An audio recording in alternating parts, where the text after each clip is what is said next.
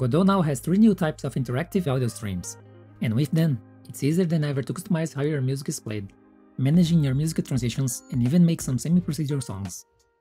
So, let's take a look at them. To start, let's add a new audio stream player to our scene. And click on Stream to create our new audio type. The first type is Audio Stream Playlist. It lets you add several songs to a list and play them in order or at random. You can even adjust how much crossfade happens when switching songs. Right now, it is still missing some simple features, like the ability to manually change its music. But the other type of stream is a bit more interesting. The audio stream synchronized lets you sync several audio clips together, so they always play with the same time. Using this, you can make procedural songs by separating your music into different instrument tracks, and use a simple code to toggle the volume of each instrument on and off. Some games like to use this to add subtle changes to the music from player actions. One such example is Pokemon Black and White, that uses something like this to play a quiet drum when the player walks in Route 1, and it is always synced to the music. To use this, create a new audio stream synchronized and add tracks to it. You can start the player and see how each of the tracks play along at the same time. You can control their volume and see how it changes your music. That way, you can use code to change the clip volumes to toggle them on and off. Here I use signals for when the player presses a key near the potions to switch each of the tracks. The last and more complex one is Audio Stream Interactive. It lets you fully customize your audio transitions, when and how your song will change. You can start playing an intro part of the song before it starts looping, manually change to another song, or even make it go back to a previously saved song automatically. There are a lot of use cases for this. To use this, create a new audio stream interactive. Press Add Clip to add a new audio clip, and let's drag in our intro music. You can also change its name here. This will be the name used when manually requesting to change clips later. Let's also add our looping part of the music and call it loop. The Battle intro and the Battle loop music and the Battle Win audio. You can turn on Auto Advance to automatically trigger the music to change after the clip has ended, making the intro go to the loop music, and the Battle intro go to the looping Battle music clip. You can enable playing to see it working now. It plays the intro music and will automatically change to the loop music. You can also open parameters at the bottom and change the switch to clip property to manually change to any of the clips. If you don't see any options here yet, make sure you have saved and reload the scene.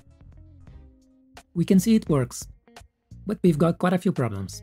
Our intro music doesn't connect well with its loop, and the manual transitions are quite abrupt as well. So let's fix that. First we need to make sure our audio clips are properly imported. To be able to fade clips, we need to have our beats per minute BPM property enabled. Another thing we can do is manually set the song's beat count. As you can visually see here, quite a bit of the end is silent inside our intro track, so let's set our beat count in a way that it doesn't use that. 12 works well here. And let's do the same to our Battle intro and our Battle Win clips.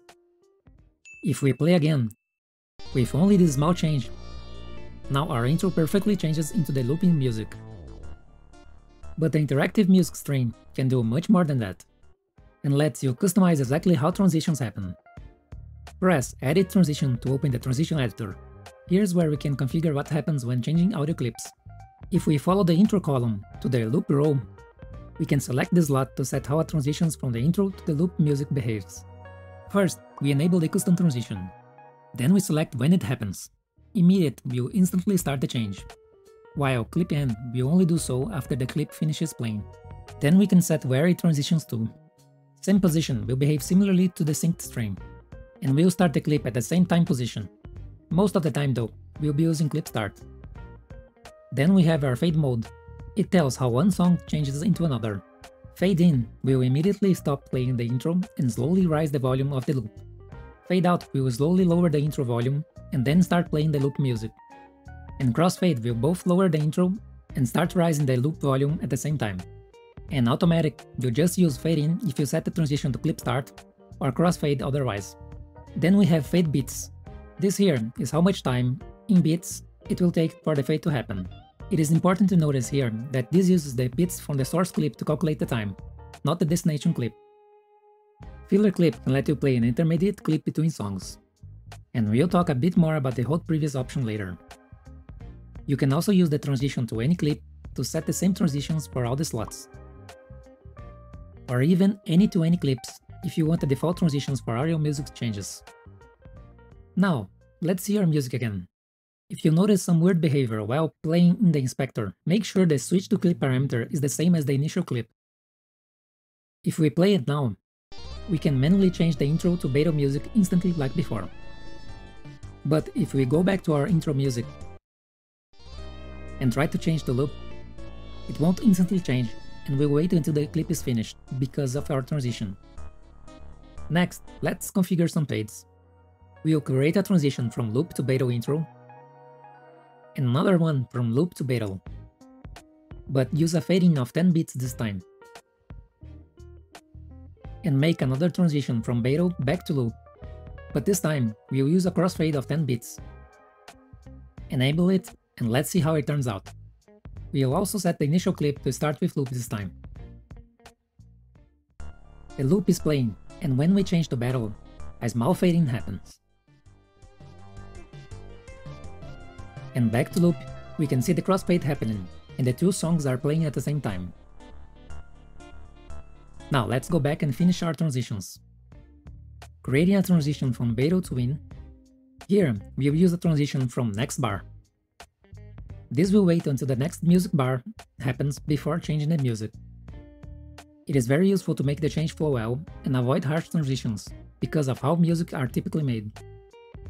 We can see the results here, how naturally it changed clips. You can also configure your music's bar in the audio clip import settings. By default, one bar is 4 beats of the song. You can see its indication by a very slightly brighter line. Let's try again with this longer 20 beats bar. You can see it doesn't immediately change, and we wait until it hits the end of a music bar. Let's put that back at 4. And finally, we have our Auto Advance option, Return to Hold. This will automatically advance the clip to a previously saved audio clip. Let's make our Win music return to the saved position, and set our initial clip back to intro. Select our intro to Battle transition, and enable Hold to Previous. Our loop to Battle, and do the same. Now when we transition from intro to Battle, and then to Battle Win. After the Win music is done playing, it will come back to intro. Its saved position.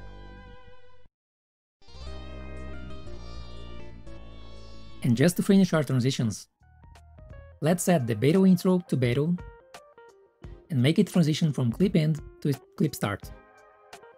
And from Battle Win to any clip, going to clip start too. We are also going to add our loop to Battle intro and add the hold position there, and the same for our intro to Battle intro. Now, to control the interactive music in the game is very simple. First, let's enable autoplay for our audio stream player, and here's a simple demo. I've set the red and green areas to send a signal when the players enter it. Entering the red area, we'll call switch to clip by name, changing the music to Battle intro and going to the green zone will call a change to Battle Win.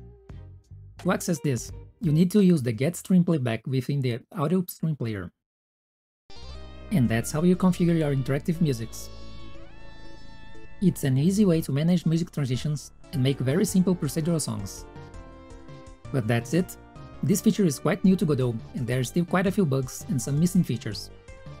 But fixes and changes are already waiting to be merged and hopefully they will be here by the next minor release. I hope you liked this video, and until next time.